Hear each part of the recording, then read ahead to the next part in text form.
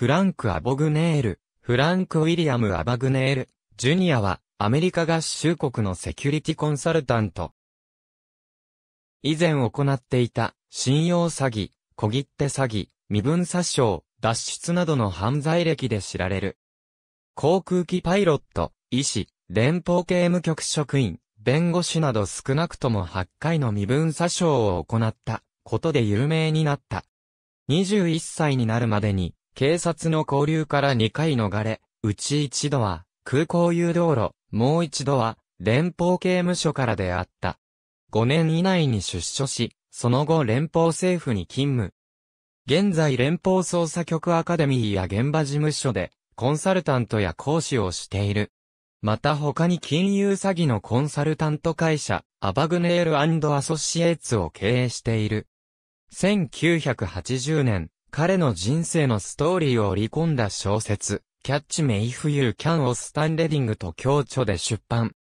これを元にした映画、キャッチミーイフユーキャンが2002年に公開され、2011年4月より、ブロードウェイで、ミュージカル、キャッチミーイフユーキャンの上演が開始された。歴代の詐欺師の中では詐取した金額こそ突出してはいないものの、若さと手口の大胆さ、鮮やかさで、米国では彼の詐欺事件がしばしば TV 番組などで報道されたこともあり、よく知られていた。あと、表した自伝、キャッチミーイフユーキャンはベストセラーとなり、それをもとに、キャッチミーイフユーキャンとして映画化もされた。1948年4月27日、アメリカ人の父フランク・アバグネールシニアとフランス人の母ポーレットのもと、ニューヨーク州ウェストチェスター郡ブロンクスビルで4人兄弟の一人として生まれた。16歳までブロンクスビルで過ごしたが、両親が離婚となりもう二度と父の顔を見たくなくなったため家で。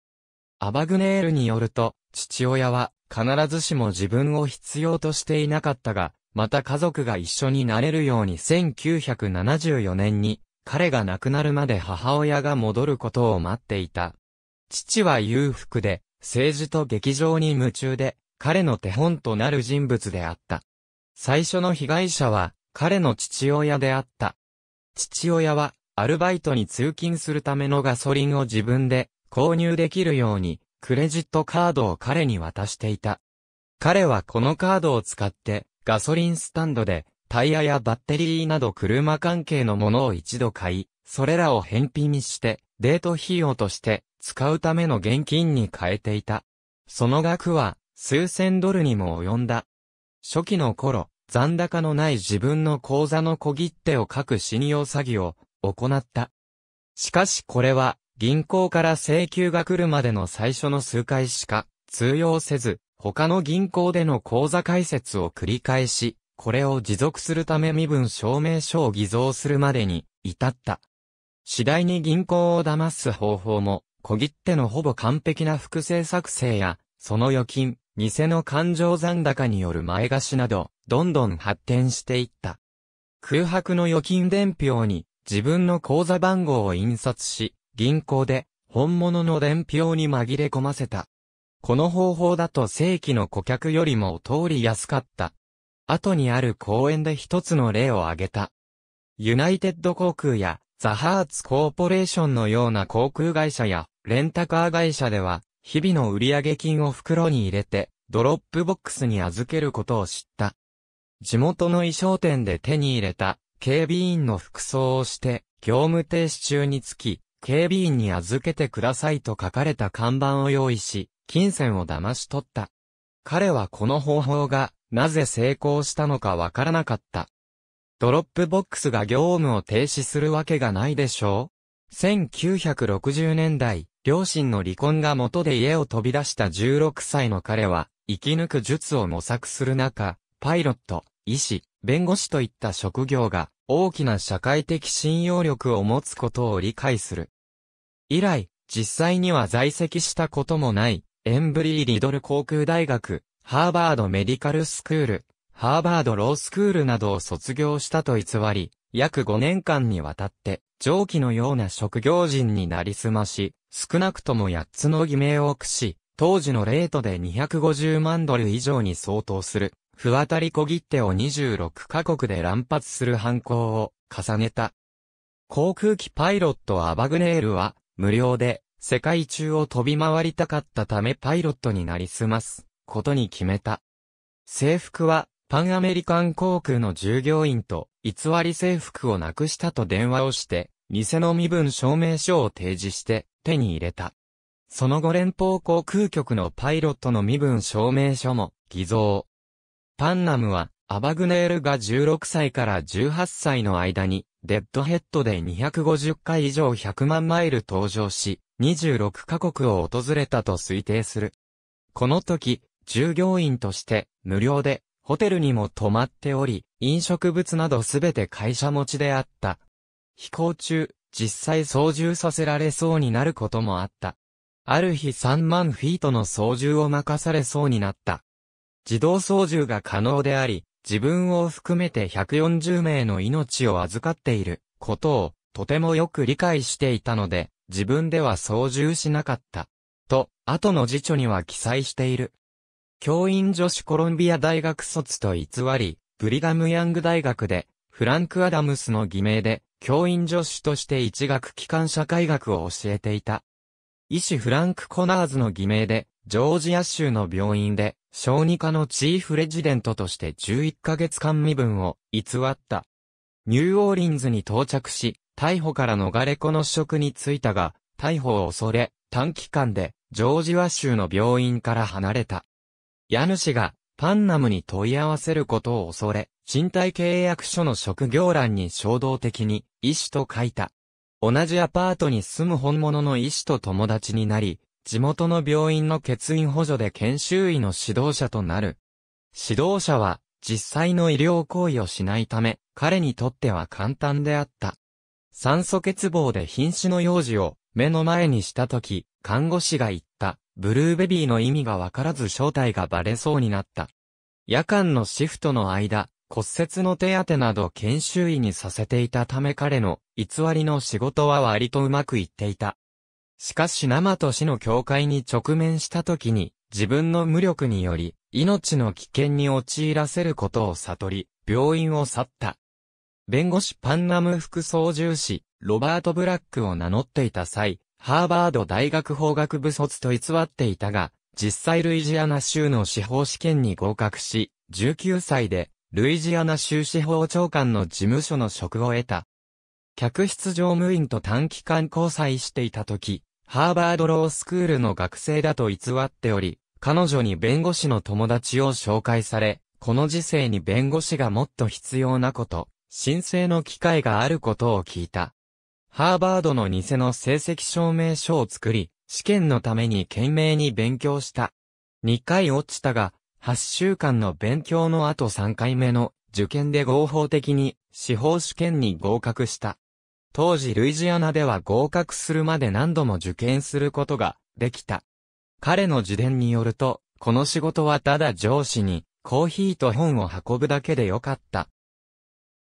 しかしこの司法長官の事務所の同僚に本物のハーバード卒業生がおり、アバグネールにハーバードでのことをしつこくいろいろ聞いてきて、アバグネールは、ハーバードにいたことがなかったので当然答えられなかった。8ヶ月後、アバグネールは、彼が自分の経歴について調査し始めたことを知り辞職した。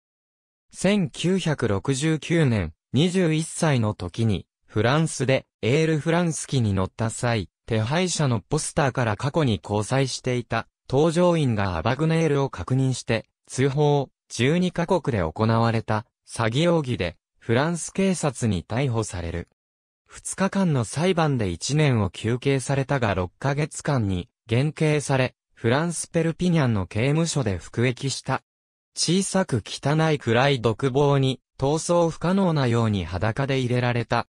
この独房にはトイレ、マットレスもなく、ブランケット、食事、水は厳しく制限されていた。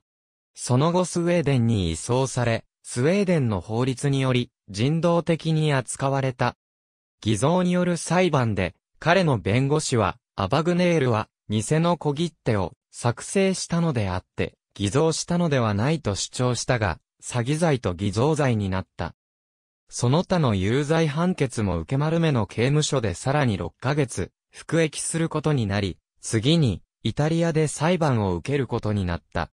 後に、スウェーデンの裁判所は、アメリカ国務省当局者に、彼のパスポート無効を求め、正当なパスポートなしで、スウェーデン当局は彼をアメリカに強制送還し、複数の国での偽造の罪で、連邦刑務所に12年の刑期を言い渡された。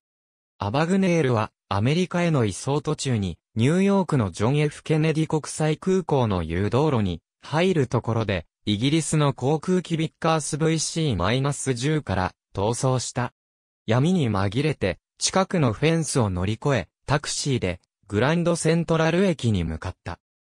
ブロンクスクによって服を変え、2万ドルを預けていた、モントリオール銀行の貸金庫の鍵を手にした後、アメリカと犯罪者引き渡し条約のないブラジルのサンパウロに向かうため、モントリオールピエール・エリオット・トルドー国際空港に電車で向かった。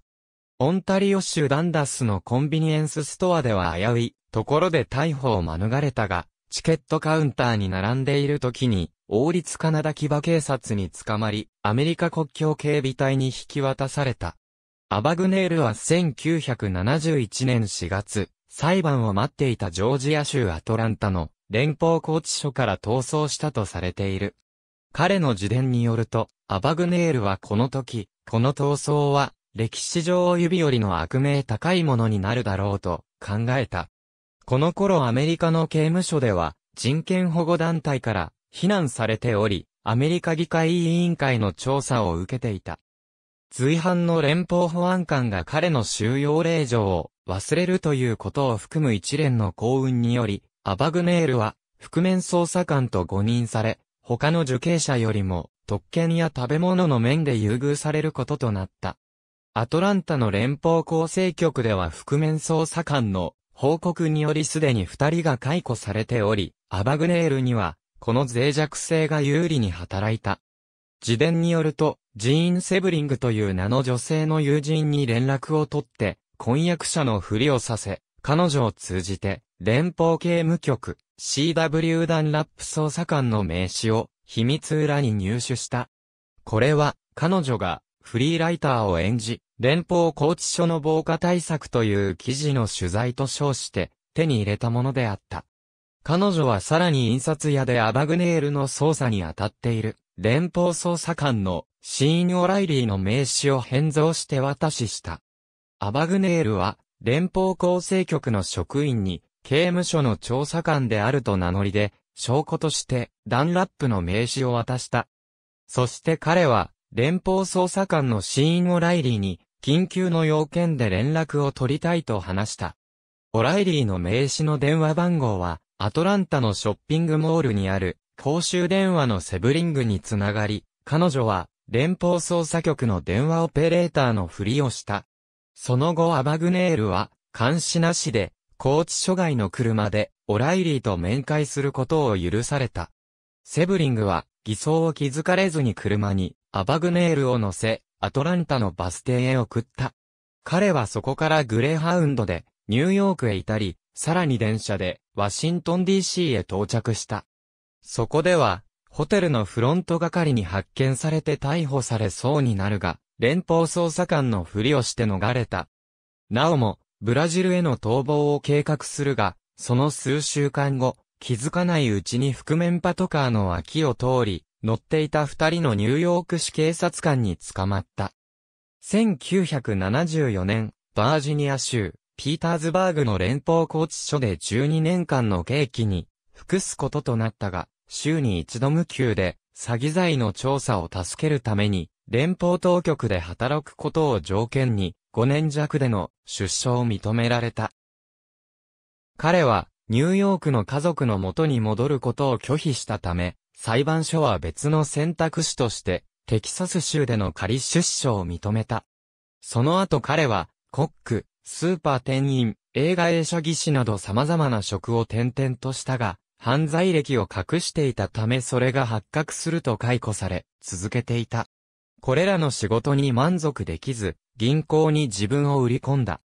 過去に行った小切手詐欺など銀行を騙す、様々な手口を銀行職員に紹介した。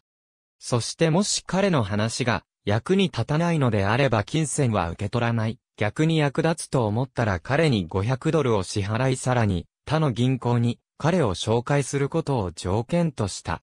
そしてこれがセキュリティコンサルタントとしての合法的な職業の人生の第一歩となった。その後、オクラホマ州タルサを拠点に、企業向けの詐欺対策をアドバイスする、アバグネールアソシエイツを創立した。また連邦捜査局と35年以上提携し、全米の連邦捜査局アカデミーや現場事務所で、コンサルタントや講師をしている。彼のウェブサイトによると1万4000以上の機関が詐欺予防プログラムを受けている。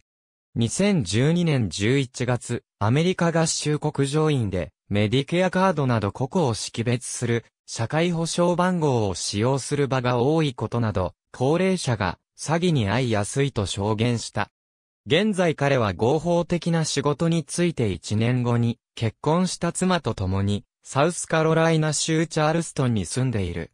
息子が3人おり、うち1人は、現在連邦捜査局に勤めている。アバグネールと連邦捜査局捜査官の上司やは視野がなくなるまで親友となり、上司やはカール・ハンラティとして二人は映画キャッチ・ミー・イフ・ユー・キャンの元となった。アバグネールの犯罪歴の信憑性は、キャッチ・ミー・イフ・ユー・キャン公開前から疑問視されていた。1978年、防犯セミナーで彼が講演した後、サンフランシスコクロニクル紙の記者が彼の証言を検証した。銀行、学校、病院など、その他の機関での通話歴で、彼が使用した偽名で、彼の詐欺の証拠は出てこなかった。この件に関して彼は、一体誰がこの情報を確認するというのだろうと言った。2002年、彼の会社のウェブサイトで、私は共著者と4回ほどしか話し合わなかった。彼はとてもよく書いていたと思うが、いくつかの話については、脚色や誇張が過ぎたと思う。これは、彼の執筆スタイルであり、編集者が求めていたことである。彼は物語を書いたのであって、私の伝記を書いたのではないと語った。1977年、クイズ番組、 To Tell the Truth に、他の二人の出演者と共に登場し、それぞれが自身の話を紹介した。1980年、半自伝、 Catch Me If You Can を出版し、2002年、スティーブン・スピルバーグ監督、レオナルド・ディカプリオがアバグネール役でこれを元にした映画、ャッチミー・イフ・ユー・キャンが公開された。アバグネール本人も、ディカプリオを取り押さえるフランス警察官の一人として、カメオ出演している。2011年、この映画を元にした、ブロードウェイミュージカル、キャッチミー・イフ・ユー・キャンの上演が開始された。ミュージカル作品賞、ノーバート・レオバッツが受賞した、ミュージカル主演男優賞を含むトニー賞に4部門ノミネートされた。1990年代初頭、イギリスのチャンネル4の The Secret Cabaret に何度かゲスト出演した。この番組はマジックを扱っており、彼はトリックの種明かしをするエキスパートとして登場した。2007年、英国放送協会の The Real Hustle に端役で出演し、詐欺師によって手法が違うことを語った。アボグネール、フランク、カレントバイオグラフィーイヤーブック2011、イプソイッチ、MA、H.W. ウィルソン、ピアニッシモ、1から4、ISBN 9兆7808億2421万1219、サルンジャー、ローレンス M、エンサイクロペディア・オブ・ホワイト、カラーコーポレート・クライム、AI。ボリューム1、ページ418、ISBN 0から761930043、2005、マリンズ、ルーク。ハウ・フランク・アボグネール・ウッドス・ウィンドル・ユー。US ニュース、2011年2月14日閲覧。アボグネールアソシエイツ、フランク W. アボグネール。abagnale.com。2011年2月14日閲覧。フランク・アボグネール・フロム、キャッチメイ・フユーキャンパート1、YouTube、アクセスとマーチ7、2011、ザリアル・フランク・アボグネール・フロム、キャッチメイ・フユーキャン。wimp.comcitingabagnale.com AB、アボグネール、フランク W、スタンレディング、キャッチメイフユーキャン、ニューヨーク、ランダムハウス。インク、ピアニッシモ、277、ISBN 0から7679053885、http コロンスラッシュスラッシュブックス .google.com スラッシュブックス、ID イコールゴルコヘス4バイクプリンゼックイコールフロントカバー &DQ イコール、フランク W アボグネールキャッチメイフ U、can can&hl イコール EN、V イコールオネパゲ &Q& F イコールフォルス2011年2月14日、閲覧。